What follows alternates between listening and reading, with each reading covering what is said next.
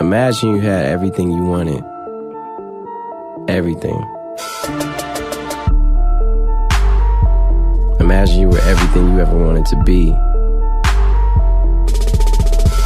And capture that feeling.